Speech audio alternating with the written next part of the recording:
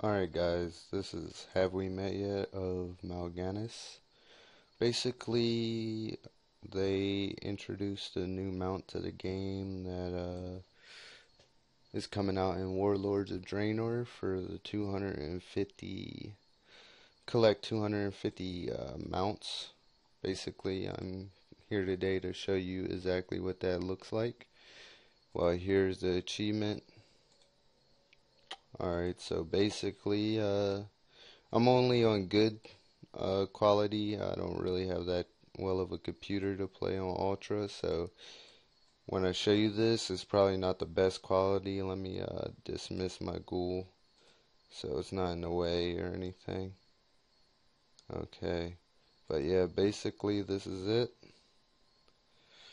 Uh, alright, now let me, uh, alright. But yeah, um, this is what you get after 250 mounts. So if you haven't really been farming mounts and you think this is a really freaking awesome mount, uh, you can either A, add me on my uh, battle tag and I'll help you get some mounts that are easily obtainable.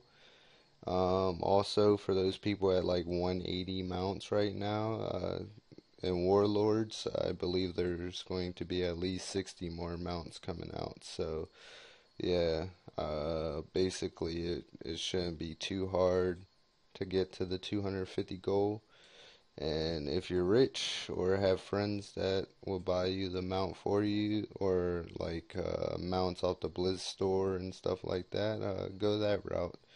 But yeah, this is basically what you get. And yeah, um, happy hunting on collecting your mounts. I'm at almost 202 mounts right now. And yeah, we'll, we'll get there. Thanks for watching, and uh, please subscribe for more videos and future uh, patch notes and guides. Thank you.